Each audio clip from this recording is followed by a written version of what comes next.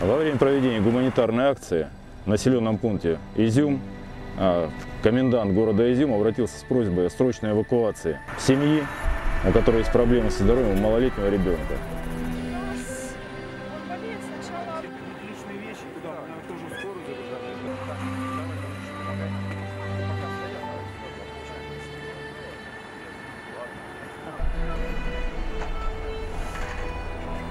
Данная семья была доставлена на территорию Российской Федерации для оказания дальнейшей медицинской помощи.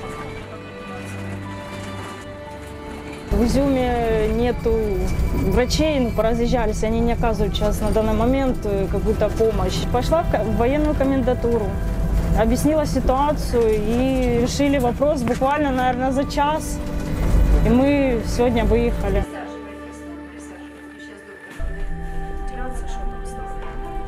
Спасибо военным. Большое им огромное человеческое спасибо, что они вот так вот отреагировали на мою просьбу. И пусть хранит их Господь.